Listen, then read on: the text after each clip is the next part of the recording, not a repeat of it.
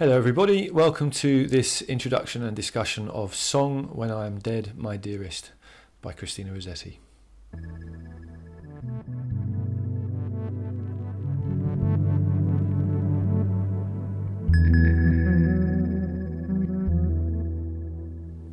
Christina Rossetti wrote Song When I Am Dead, My Dearest when still a teenager. It's one of the youngest written poems in the collection, uh, written in 1862 um, and is often offered as a partner poem to um, the work that we looked at in the last video, which was the poem Remember. These two are both kind of sister poems in some way for reasons that you'll soon see if you don't know already.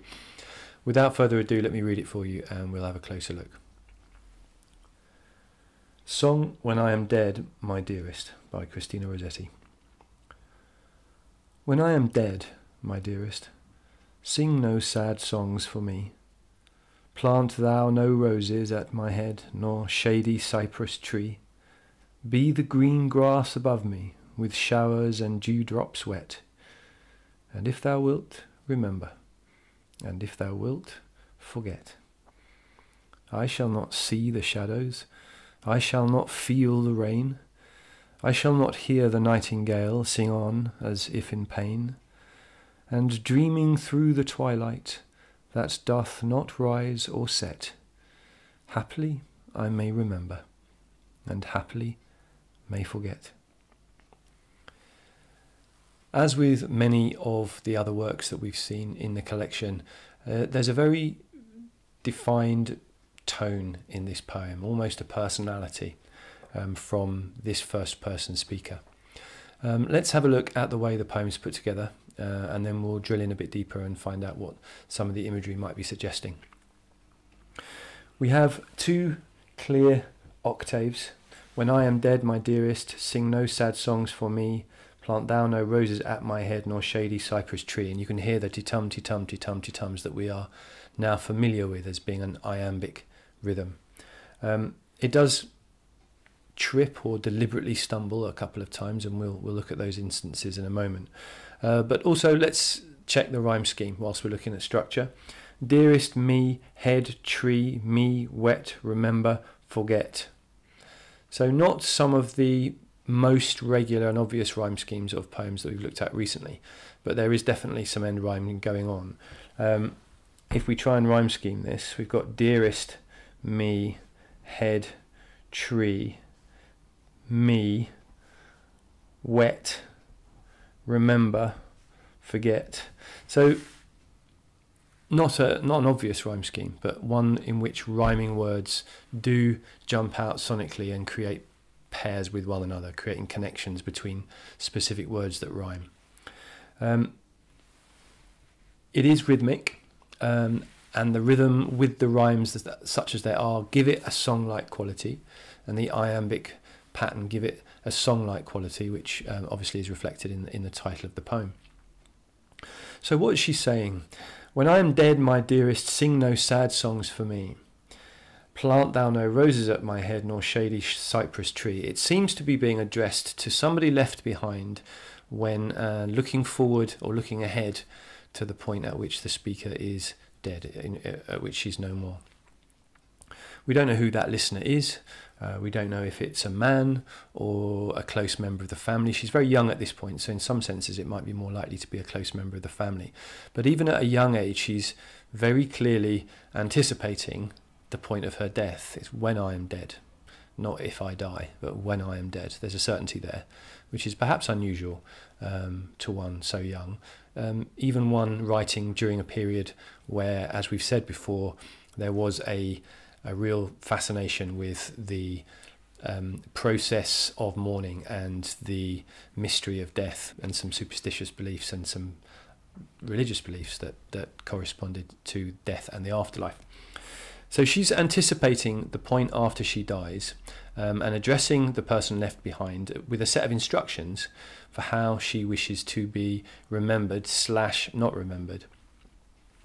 When I am dead, my dearest, sing no sad songs for me. We've got lots of repeated uh, consonant sounds with the double D's in the first line and then the sibilants of the S's in the second line. Sing no sad songs for me. it almost emphasises the the sing song nature of of the rhythm, um, those sibilant s's in line two. Plant thou no roses at my head, nor shady cypress tree. The first four lines, the first almost quatrain of that octave, um, has that very familiar sing song A B C B rhyme scheme. Plant thou no roses at my head, nor shady cypress tree. So lines three and four introduce the first of two natural um, images or, or um, allusions. We've got the reference to roses in line three, which, as as as you'll know, uh, normally has connotations of kind of romance. Um, she wants no thoughts of love um, at that point once she's dead, and also the shady cypress tree. So shady um, in this sense is kind of uh, cool and comforting. But uh, a cypress was, for the pre-Raphaelites and before, often associated with death or or grave sides or, or mourning. It's an evergreen tree, so there's there was an image of the cypress as being something that would would go on after you died. But she doesn't want that. She doesn't want to be um, remembered symbolically by that um, cypress tree. Instead, we have the imperative instruction: be the green grass above me, again a repeated consonant sound, with showers and dewdrops wet. And if thou wilt remember, and if thou wilt forget, the drops of water that she's asking for are not significantly tears shed, as perhaps would have been more, um, more typical of a, of, of a Victorian piece or of sentimentality around death. This is quite unsentimental. This is not, I don't want drops from your eyes. Give me Give me drops from, from the sky. Give me natural dewdrops or raindrops, uh, showers and dewdro- dewdrops wet. And if thou wilt, remember. And if thou wilt, forget. So a tone very much of a kind of acceptance either way, almost a resigned tone. There's a some of you have, have pointed out that there's a tone of the noun for resigned is resignation. There's a tone of resignation, but it's quite a, a light resignation. It's not um, the weariness that we see in From the Antique, for instance. This is a much more at peace kind of resignation, perhaps. We've got the more intimate form of you here, which is thou. This is this is a um, a very informal and intimate word um, that again establishes the listener as being somebody close to the speaker. I shall not see the shadows, I shall not feel the rain, I shall not hear the nightingale sing on as if in pain. So the repetition of I shall not, that trio, um, and then that uh, A, B, C, B rhyme scheme that we've noticed in stanza one is repeated again, which again really emphasizes sonically the, the, the sing song nature of the, the structure. Um, I shall not see the shadows, I shall not feel the rain, I shall not hear the nightingale sing on as if in pain. So, why these three images in this trio? Why are they linked together? Well, arguably, shadows and rain are sort of the slightly darker or more um, depressing, if you like, images um, of graveside mourning. She doesn't want shadows, nothing gothic, please. She doesn't want rain. She doesn't want that pathetic fallacy of, of the, the rainstorm at the graveside. And she does not want to hear the um, nightingale, or she won't hear the nightingale. The nightingale being a bird that has mythical associations from the story of Philomela, who you can look up P H I L O M E L A, Philomela. Um, and Philomela it comes from a Greek myth that was, like many Greek myths, retold by the great Roman storyteller Ovid. Um, and one of those stories that comes from the Metamorphosis, which I heartily recommend. It, lots of our stories, cultural stories where people are changed from one thing into another, um, often can be traced back to the myths and and and tales of Ovid. And if you're looking for a good um, translation of Ovid's Metamorphosis, then I recommend the Ted Hughes version, because although Ovid is a Roman poet uh, writer who uses obviously Latin and Latinate language, um, I think the translations into um, the more Anglo-Saxon type of English that Ted Hughes uses really suits the full-on physicality of the stories that Ovid tells. Um, much more crunchy kind of prose, much more monosyllabic, tough, hard kind of prose, which really suits it. I'm getting sidetracked. I'm aware of that. Um, but uh, Ovid's Metamorphosis is where you will find the story of Philomela. Um, there are other sources too, but this is one of them. Um, Philomela was turned into a nightingale after something that something very awful that happened to her. You must read the story if you want to know what happened to her. If you know anything about Ovid and Metamorphoses, you'll know it'll be pretty ghastly. But she was turned into a nightingale, and so the beautiful plaintive song of the nightingale, which was such a favourite um, with the Romantic poets, um, has got a pain in it because she's singing. The beauty of her, uh, of her singing belies the pain that is behind the fact that this was a girl that's transformed into a nightingale. So, three quite dark images in a way. Um, but the speaker is not going to be aware of any of it. I shan't see the shadows, I won't see the rain, I won't hear the nightingale sing on as if in pain. And I think this uh, as if in pain here is, is almost uh, Rossetti being really pragmatic or, or down to earth. It's like this, this is a nightingale, this is not actually singing in pain, it's singing as if in pain. And pointing that out, I think, at this point in the poem just emphasizes the down to earthness of this attitude. It's the opposite of any superstition around the afterlife. Um, this is really that kind of I'm going to be in the ground, I'm not going to know what's going on kind of attitude that we've seen in one or two other places um, when Rossetti talks about death. And dreaming through the twilight that doth not rise or set, Happily I may remember and happily may forget. Now there's an interesting bit of context here. Um, sorry, awkward to get to. This idea of death being a dream state. Rossetti, as you might know from your reading, had particular ideas about what death was. Um, and it wasn't the predictable, or perhaps not predictable once you've read poems like this, it wasn't the predictable Christian version of afterlife. It was a particular version of death that was a belief held by a certain tranche of Christians.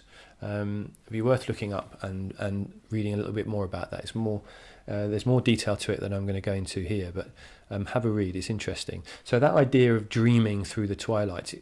It, on first reading, it's a little confusing because if you're dead, you're not dreaming, especially if you're the kind of dead that stanza one and, and part of stanza two suggests you're not aware. Um, this version of death isn't aware of life going on without you. So why dreaming? Well, it's to do with this particular doctrinal interpretation of death that, that corresponds to Rossetti's beliefs. Happily I may remember and happily may forget. So this word happily um, can be sort of translated as a um, a truncated version of haply, or as a way of writing perhaps um, as an adverb. Does that make sense? Perhaps, perhapsly I may remember, and perhaps I may forget. So you'll have your own reading of that. Perhaps it can be read either way, and your your reading will suggest one rather than the other. One happily suggesting a complete lack of any sadness or attachment to uh, what's going on back on Earth or in life, and the perhaps interpretation of happily um, a much more kind of who knows kind of uh, kind of tone. So you'll decide which uh, you prefer, which which sums up you think well, what you think her tone or her intent is in saying these things. So we've got a couplet at the end of each of these octaves, and I think one uh, the second one very much reflects the first. We've got remember and forget uh, mirroring each other at the end of each of these verses. Um, and whereas stanza one is talking about the listener, and if you and if you if you're going to remember and if you want to forget, doesn't matter. And then at the end of the second stanza, it's about the speaker. So there's a there's a there's an inversion there, um, but very much a, a mirroring of of of cadence and, and also language between the ends of the first two stanzas. Now, some critics have looked at this poem through um, a feminist lens. Uh, and obviously, we have to be careful looking at Rossetti through a feminist lens, and we must be careful using the word feminist about Rossetti because this is certainly not a word that she would have used. It wasn't a word that was used at all at the point, or at all for her at the point that she's writing. And we know from our context research that um, we can't label her a feminist or or make any lazy assumptions about what that meant she believed. In many ways, her views and her beliefs were aligned with, with quite traditional Victorian views of womanhood. But every now and again, we hear a different note from her. And I think there's a there's a sense of independence in this voice that is completely ready to be at peace or contented with or without the mourning tears or, or longing grief of a loved one. Um, it's a, a, an independence that now we recognise as being um, a feminist sentiment. You'll have your own ideas about what Rossetti's intent was with that tone. So I hope that you've been making connections between at least one other poem as you've been looking at this one. And as you annotate your own copy, uh, you might want to make some cross reference notes between this and certainly remember, but almost definitely other poems in the collection too. It's another nice one to learn by heart because of that regularity uh, and the fact that it is a song should make it something that's easier to learn. So, Song When I Am Dead, My Dearest by Christina Rossetti. I hope you enjoyed it. All the best.